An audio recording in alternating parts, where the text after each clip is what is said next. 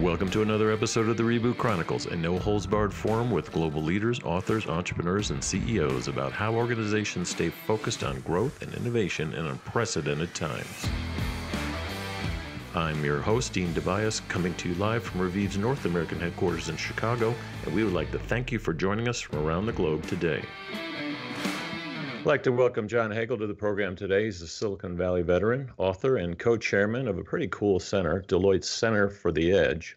And today we're going to try to make sense of this upside down world we're all living in from the business side and figure out how do you kind of navigate and explore this uh, uh, landscape and still get back to looking at emerging opportunities. Talk a little bit about his book and why a lot of the topics that he works on and the research he does is not on enough CEOs' agendas these days, even before a pandemic hit the planet.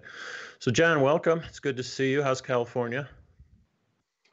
Blue skies and sunshine. I'm very grateful to be here.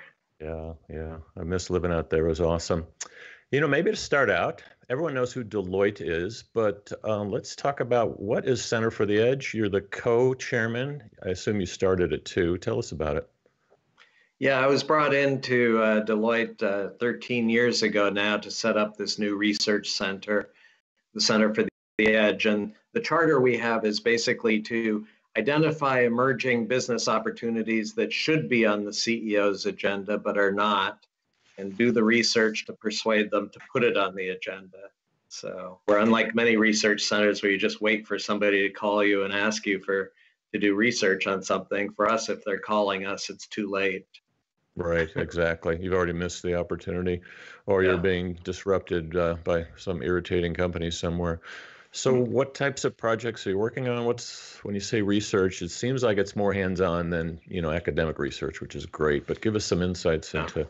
Well, first, some just kind of you know take the cover off. Tell us kinds of things you work on, and then we'll get into some insights and your learnings.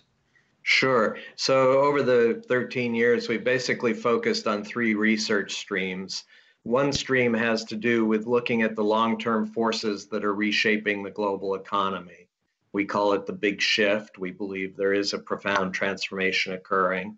So that's one stream. Second stream is okay, so what are the opportunities that are emerging as a result of all these changes and focusing on specific opportunities? Right. And then there's the third stream, which is a reaction we get from a lot of executives when we talk about the big shift is they say, wait a minute, we're way over here. You're telling us we need to be way over there. How the hell do we get from here to there? It's just too overwhelming. And so right. we focus on what we call pragmatic pathways that can help large traditional institutions make that transition. Yeah, Kellogg, I call those BFSs, big, fat, and slow, uh, which is you know what a lot of companies are in terms of you know their size and scope. How do you get them to be more agile and actually focus on this stuff?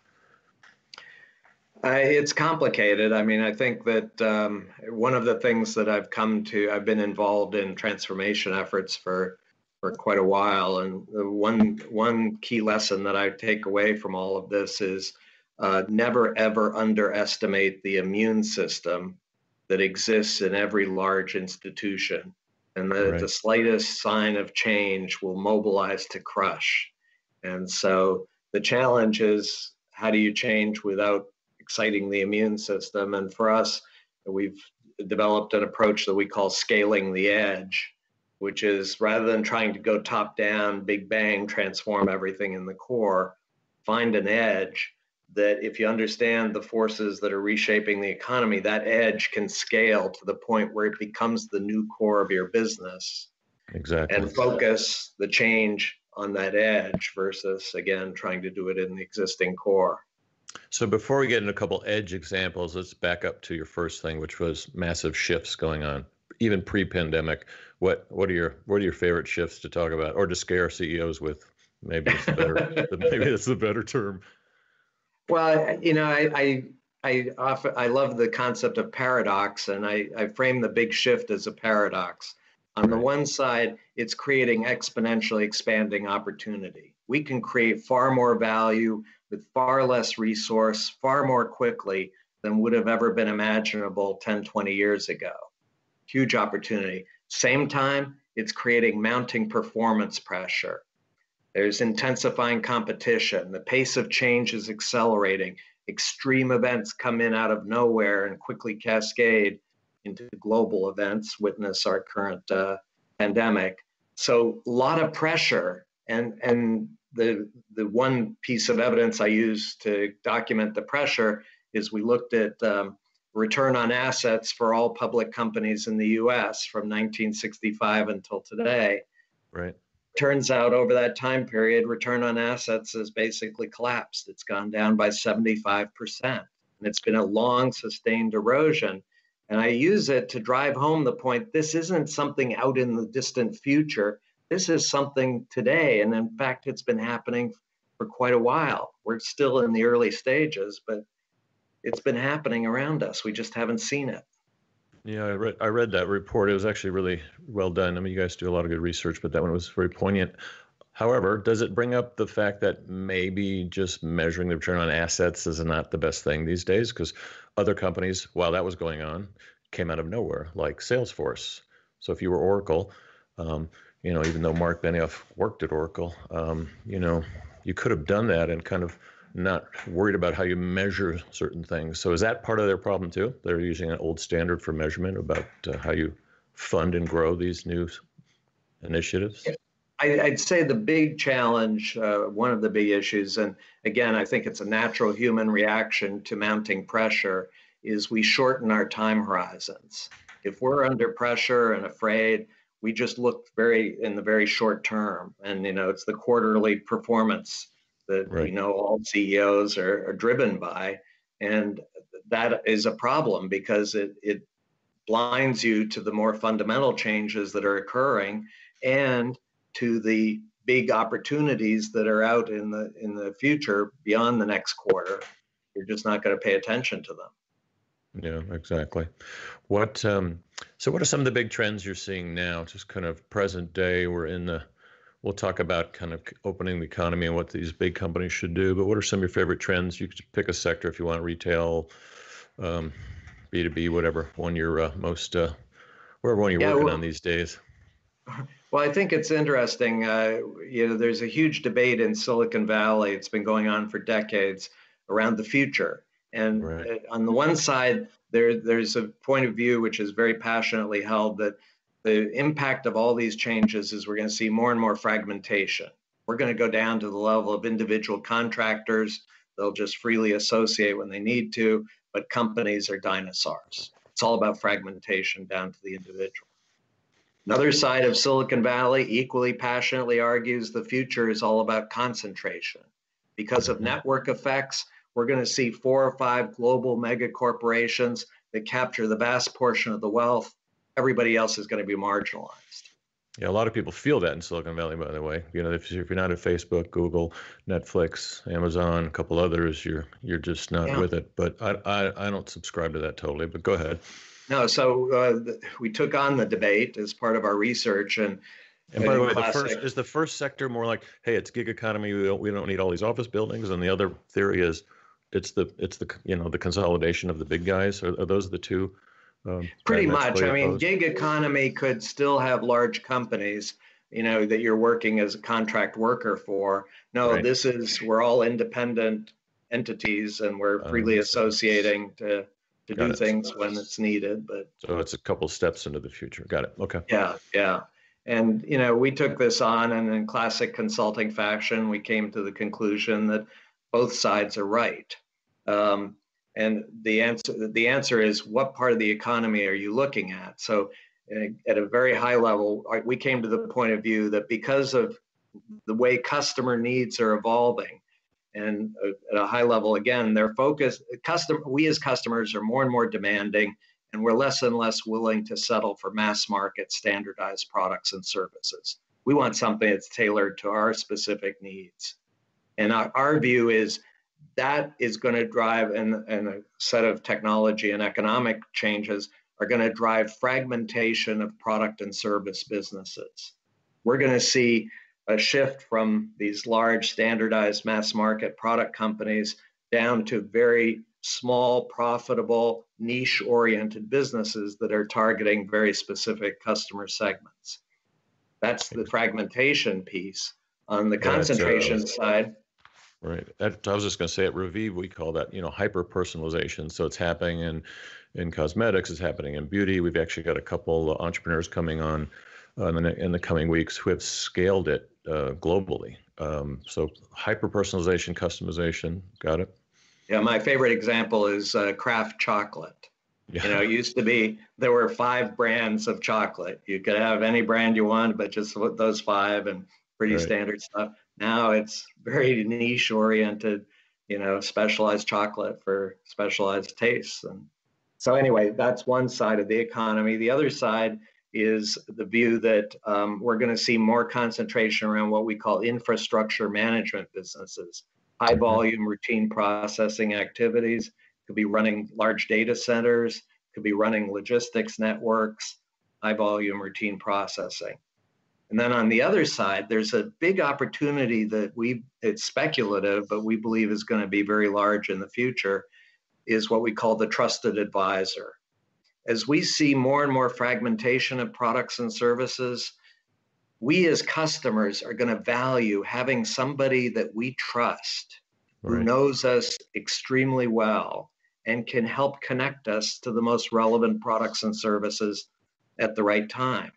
And our belief is those businesses actually have powerful economies of scope.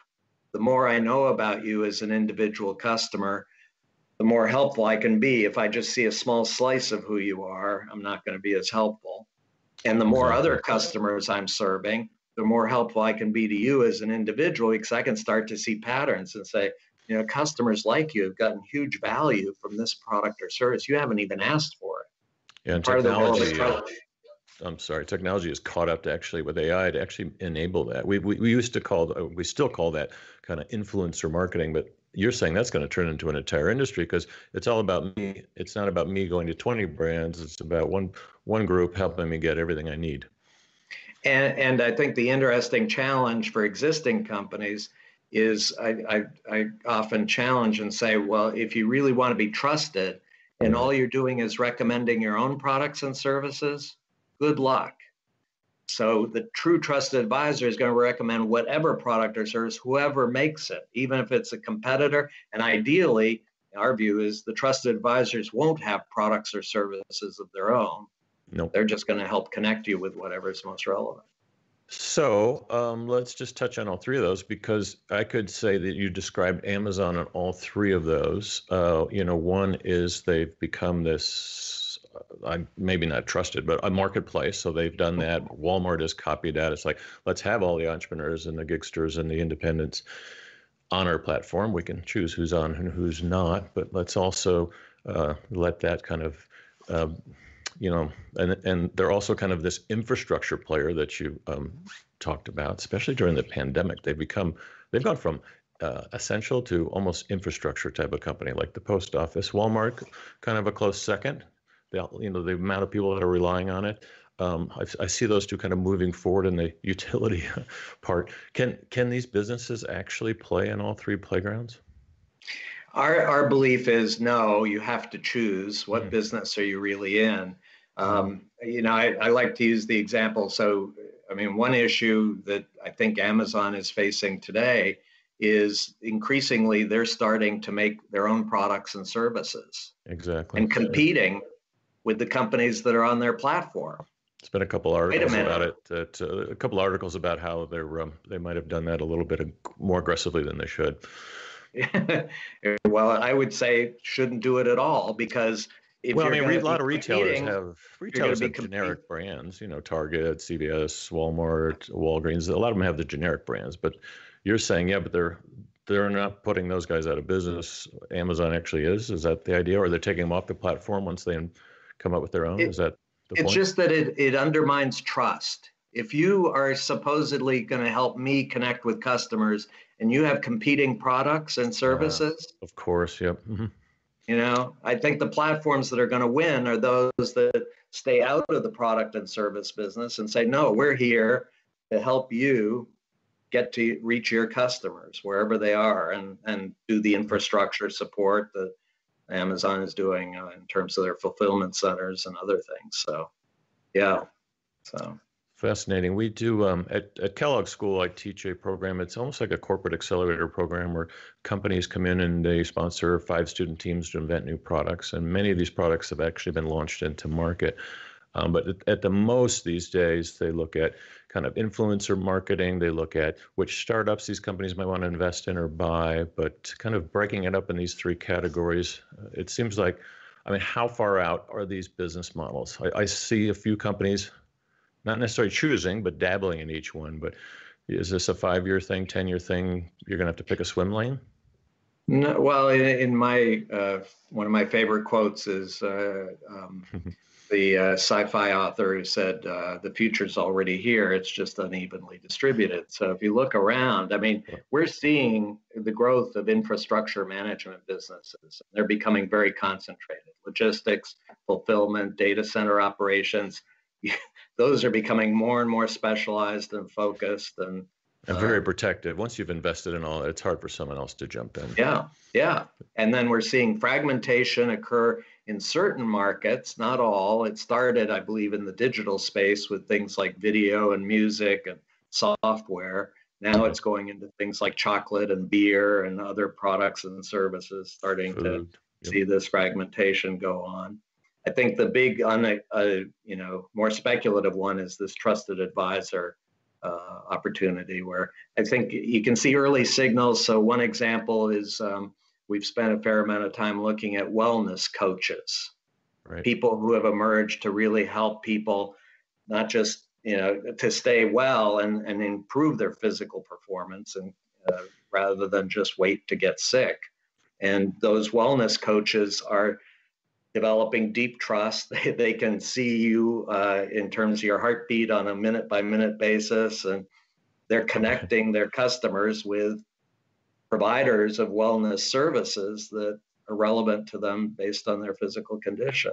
Exactly. We had uh, Naveen Jain on the program uh, last week and um, talking about the personalization of supplements and these things, and and that that still called influencer kind of audience is becoming more and more important, whether it's their doctor, which people are kind of moving away from, or whether it's kind of a health, fitness, life coach, um, whatever whatever that is, and that fits into a lot of the uh, personalizational models as well. That's why I asked if maybe the two go together. But mm. I get the trust. I get the trust thing. How does this? Um, I mean, it's very insightful. But how does it um, transform right now? How these big huge companies, let's call just the Fortune 200s or the Global 500 around the world, you know, how do they? You know, a lot of them have moved to co-creation and open innovation and labs and dancing with startups, and so they've kind of gotten that they've gotten that into their system a little bit. We've helped them and through various organizations, including yours. But how does that become more systemic to kind of plotting around hey we were a manufacturer of goods and factories. We need to move into more of this role? It sounds painful for some companies yeah, I think uh, there are many different uh, components that have to come together. We, we've been a strong advocate of a different approach to strategy that's kind of a, an opening way to think through this. And we right. call it zoom out, zoom in. But it's this notion of in a rapidly changing world, you have to focus on two time horizons in parallel. And by the way, this is very much influenced by my experience working with some of the most successful tech companies because they they have pursued this strategy. Uh, they didn't call it zoom out, zoom in, but um, it basically the two horizons are 10 to 20 years. Mm-hmm. And on that horizon, the two questions are what's our market or industry going to look like 10 to 20 years from now? And what are the implications for the kind of company or business we're going to need to be to address the biggest opportunities?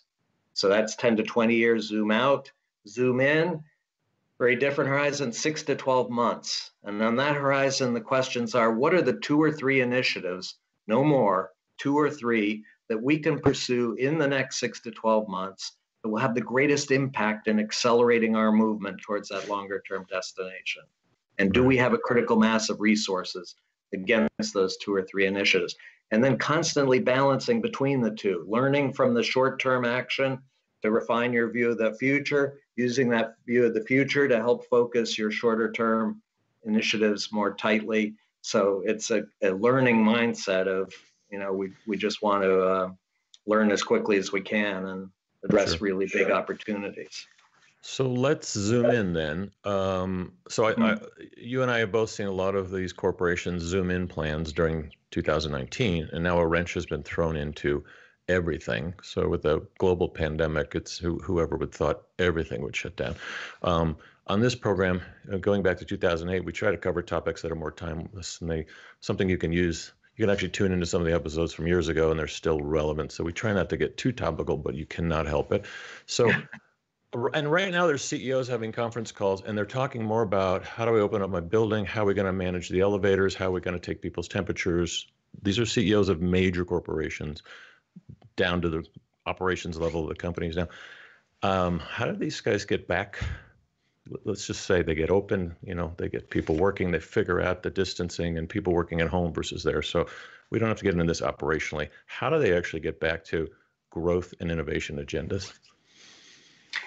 Well, I think again, it's it's pulling them out of that short-term mindset and really focusing them first of all on what is the big opportunity that's out there in the future that we could be targeting. But then again, being very demanding about what are you going to do in the next six to 12 months that's aggressive. I hate the words pilots, experiments. You mm. know, that's just dabbling. You're they just dabbling. Yes, you need yes. to commit what is it you're committing to and how aggressive can you be in the next six to 12 months to get to that bigger opportunity yeah and it's interesting uh, some of the mid-sized corporations right now uh, they've pulled back on their m&a and their and their corporate venture capital stuff. It's on hold. I mean they're dealing with the pandemic. But you see microsoft and google and amazon that it's like a, an amazing opportunity for for m&a which is growth and innovation and you know acquisition of new technologies. Uh, they're taking advantage of the dip you know valuations are down. So oh, there are yeah. some companies that are some companies that are back to focusing, but it's really tough. I mean, if they were short term focused from their culture point of view before this, now they're really short term. They're like, yes, it's life and death, life and death short term. Who gets to go in the elevator? How many? Up too many people get off. So um, not to make fun of it, but it's there's a no, there's no, a lot I, of I, there's a lot of rebooting that needs to be done here. And from a digital perspective, most of the digital CEOs I talked to were saying um, and I agree. It's like, you know, people like us have been trying to help companies with digital transformation for 10 years, and we think it's just accelerated by 10 years, at least with consumers. You know, there's more people using technology now than there was at Christmas time. I don't know what the percentage is, but it might be a good Deloitte study. it's just so what we've seen at Revive is like a 400% surge in people using online selfies and personalized, you know, analysis before they buy something. It's like that that's massive spikes. It's not just because they have more time. They've been forced into a situation where they're using more remote technology. So same thing with the innovation teams and organizations. You know, they're all learning how to collaborate around the world better, work at home. Do you think that's going to help accelerate the pace of corporate innovation? You know, it will help at one level. I, I also have a bit of an issue with the digital transformation frame that everybody's I meant, using. I didn't. I didn't mean to use that word. Uh, no, no, no, out, no. As soon as it came out of my mouth, it sounded so corporate. When, when I when I push on what they mean by digital transformation, most executives, eh, basically what they're talking about is doing things faster and cheaper exactly. with digital technology. It's all about scalable and, and efficiency. Just, and just uh, re-engineering what they already do versus yeah. what you're saying. You're saying is no, right. well, come up with an entirely different business model. Yeah. No, and, and so the metaphor I like to use is the caterpillar and the butterfly. I mean, transformation is moving from a caterpillar to a butterfly. If you're just making the caterpillar walk faster, that ain't transformation. I mean, it may be helpful to the caterpillar, but let's be clear, it's not transformation. So. There's an obsolescence uh, joke in there too, I'm sure. Oh, yeah. yeah. what um, any other trends you're seeing out there that you're uh, let's just say optimistic about? Oh, boy, um, you know, I think that I am inherently an optimist in the sense that I do believe, if certainly if you look throughout history, we have, uh, as a human race, we have mm-hmm. been able to thrive through any particular challenges or crises uh, in history and move forward, advance forward. And I think that uh, ultimately the the big challenge I, I see is I you know I, I joke that my career has been as in a business strategy, but I've, over time, I've become more and more convinced it's less about strategy and it's more about psychology. And that if we don't uh-huh. understand the emotions that are driving people, um, we're never going to get the actions we need to have impact and, and really address opportunities. And to me, the big challenge right now is the dominant emotion is fear. And this was even before the current pandemic. I think Yep. I was struck around the world the number of times with senior executives, with people in lower in the organization, out in the community. Fear was the thing that was driving them. And until and unless we find a way to address, first of all, acknowledge that because most won't even acknowledge it, but then address it and overcome it, I think we're going to have a challenge. Yeah, a lot of books, a lot of books, a lot of books, a lot of seminars, a lot of self-help about that, but it's still there. It's there, rippling yeah. around, rippling around corporations. Um, in your book, you you cite uh, obviously we we I thought it was a great read. Um, it's it's somewhat timeless. What um what can people get out of it? How can it help them if they pick it up? Because people have a little extra time right now to read. I've noticed. No, well, I think the the key themes in the book. First of all, we explored the big shift, the the forces that are train changing the economy. So it's challenging people to move out of that narrow view and see the world more broadly. But right. then again, the subtitle of the book was "Small Moves Smartly Made Can Set Big Things in Motion." So it's really challenging people to say, "What can I do now, smartly?" That really would address really big opportunities and that that's the, the way forward is not to try to you know overwhelm yourself with too much just be very targeted um, but in the context of what's the big opportunity that really could change you yeah, I'm seeing that in tech companies and non-tech. It's even in the acquisitions they make. They're they're designed to do one or two things that either they don't do well or they can't get it done quick enough uh, versus the big, massive, mega acquisitions, which is, yeah, you know, seems like a good trend. Yeah. So, uh, John, we want to thank you for being on today. Any, uh, just any parting comments, words of wisdom? I know you wish you were probably out of your house, but uh, anything for uh, pe- anything for people to think about as they're getting ready to go back to the office someday here? Yeah, well, I think that one of the interesting things that I'm seeing and the people that I talk to is the the number who are saying that they've use this time to really reflect on what's important, what's meaningful to them, and uh-huh. discovering that actually they're spending most of their time on things that are not meaningful.